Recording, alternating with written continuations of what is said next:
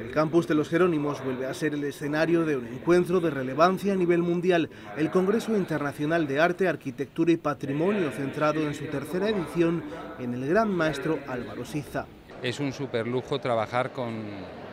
un creador de esta magnitud y de esta...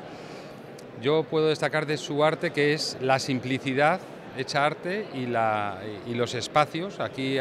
este congreso se dedica al espacio eh, y paisaje porque sabe maclar perfectamente esas dos, esos dos elementos tan importantes. Piezas clave en el diseño de infraestructuras como son el espacio y el paisaje y que además marcan el desarrollo de esta cita impulsada por la Cátedra Internacional de las Artes Cristóbal Barrón. Esta es una nueva oportunidad para que profesionales, profesores, eh, alumnos, investigadores tengan un punto de encuentro, eh, debatan sobre temas de interés y que al final, ¿por qué no?, puedan surgir eh, temas de colaboración para llevar proyectos de investigación a cabo y que nuestros alumnos además palpen ese espíritu investigador que tienen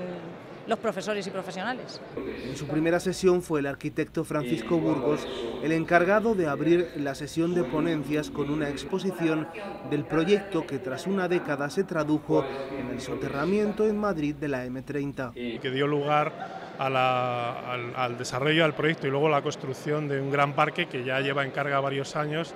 y que en cierto modo tiene que ver con experiencias similares que se han llevado a cabo en distintos lugares del mundo que tienen la, digamos, el propósito de recuperar eh, la presencia del paisaje eh, en la ciudad como un escenario de, de espacio público. Experiencia con la que se dio por iniciado el programa del Tercer Congreso Internacional de Arte, Arquitectura y Patrimonio de la UCAM.